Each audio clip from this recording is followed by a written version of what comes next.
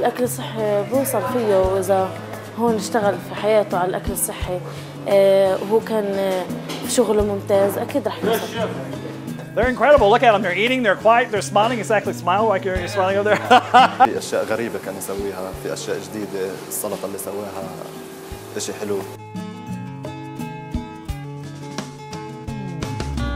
that's one of the things I try to do is show them simple food that's that's delicious, made with few ingredients, but also give them a lesson about how to market themselves as well as understanding who they are as a chef and being proud of that.